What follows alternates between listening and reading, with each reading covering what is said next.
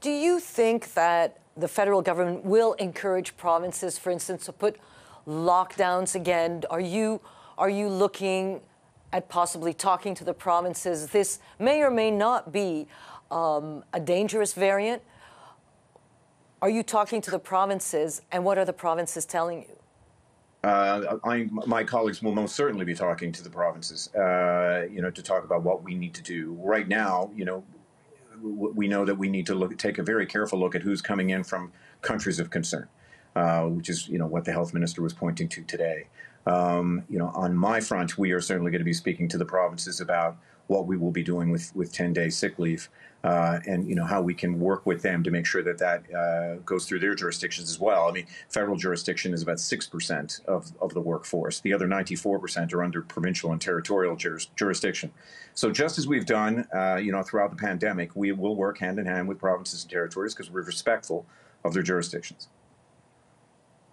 So when you're talking about those 10 days of paid sick mm-hmm. leave for federally regulated um, workplaces, how many people are we talking about that don't already have um, paid sick days? So there are 900,000 workers in these federal in this you know federally regulated uh, jurisdiction. Uh, you know, and we're, we're talking about uh, some of the biggest uh, companies and some of the biggest uh, workforces in the country. Uh, even though you know it represents six percent, you're talking about telecommunications, you're talking about uh, air, you're talking about banking, uh, you're talking about transport, the transport sector as a whole. So it is large, and of those, we know that about 63 percent uh, do not get a full 10 days of paid sick leave. I mean, the fact of the matter is about 58% of the entire Canadian workforce doesn't get any paid sick leave. And you know you don't want people having to make the choice in, in, in a crunch. We know this from you know I, I asked people in the press conference today to harken back to the spring of 2020 you know, if you had a sniffle, um, you know, do you come into work? If you were concerned at all, if you missed the symptoms, do you come into work? And for too many people, far too many people in this country, it was a decision that they had to make where they were weighing the health of themselves and of their of their colleagues at work with whether or not they could make the rent or or pay for their groceries. And that is not something that you know should be, uh, even you know at the best of times.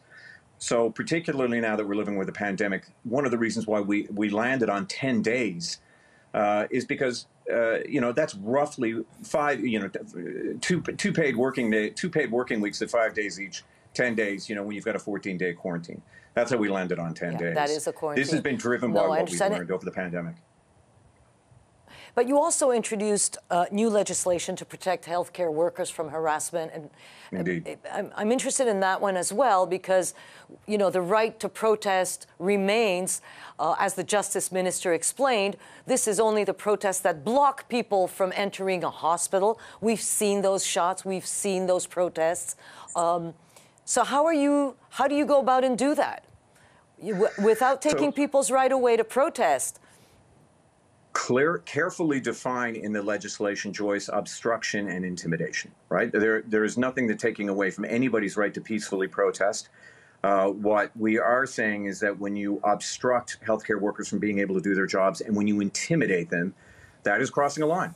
And, you know, we saw that line crossed over the course of the summer to the disgust, I would say, of millions of Canadians, including myself. Uh, that is not how we treat healthcare workers in this country. So we wanted to make sure that law enforcement officials had all the tools that they needed in order to make sure that they were able to do the job.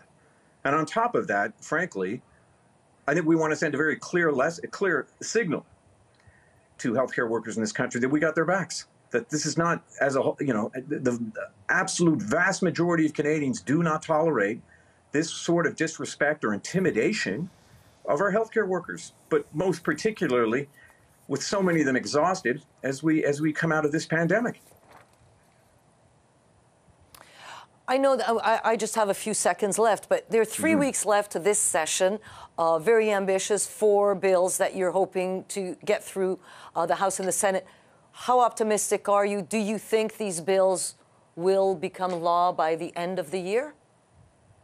Uh, I am, you know, not going to get a step on the toes of the government house leader. I know, look, it, particularly when it comes to, you know, the legislation that we introduced today on on ten on ten day paid sick leave, um, ASAP. as soon as possible. And I think that there's, you know, I think that there's a, a broad agreement in the House that we want to make sure that we support healthcare Yeah. workers and workers right across this country. So watch this space is all I will say.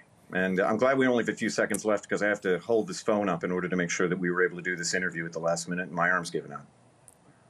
Well, you did a great job, uh, Minister. Uh, thanks so much for being there. Being there. Uh, Seamus O'Regan, Canada's uh, Labour Minister. Have yourself a wonderful weekend, sir. Thank you, Joyce.